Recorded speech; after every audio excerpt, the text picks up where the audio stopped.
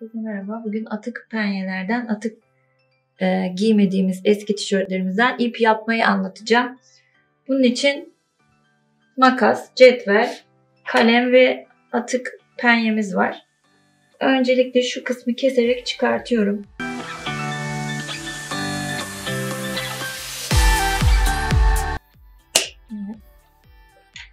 Sonra ikişer santim ayarladım ben.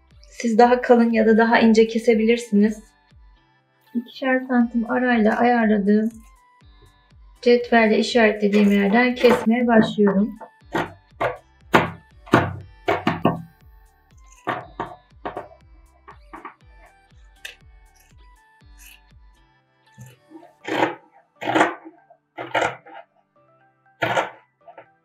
Şu işaretlediğim yerden gitmedi ama. Şurada bırakıyorum.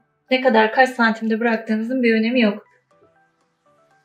Eğer kesmeye devam ederseniz şöyle bir şey elde edeceksiniz ki bu sürekli düğüm atmak zorunda kalacaksınız. Çünkü buradan kesip diğerine bağlamak zorunda oluyorsunuz.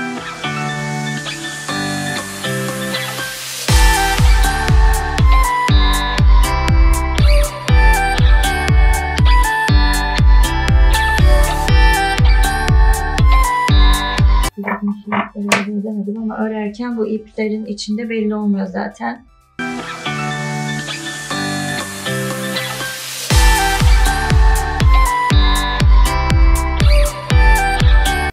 Evet şimdi şöyle bir görüntü elde ettik. Bundan sonra başlıyoruz. Şu şekilde elime alıyorum. Şu birinci ile şu ikinciyi keseceğim. Birinci ile birinciyi kesersem yine bir halka elde etmiş olurum. Onu istemiyorum. Birinci ile ikinciyi kesiyorum. Sonrasında çapraz olarak devam ediyorum. İlk karşıya geçiyorum. Karşıya geçiyorum. Bakın buradaki şeyi görecek göstermek istiyorum şimdi size. Geldim. Kestim.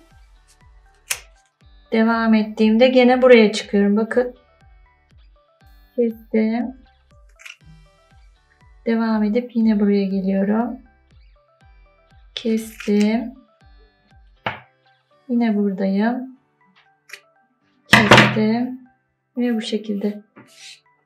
Şimdi şöyle ipimi biraz çekiyorum ki ip haline gelebilsin. Bakın böylece düğümsüz bir ip elde etmiş oluyorum. İlk başladığım yere geldim. Onu da şu şekilde kesip şurada biraz bir fazlalık kalıyor. Onu da şöyle halledeyim. Sonra bunu dolayıp ip haline getiriyoruz. Sonra bunlarla ördüğüm bir şeyi göstermek istiyorum. Şöyle paspas örmeyi düşünüyorum bununla da. Hepinize iyi günler.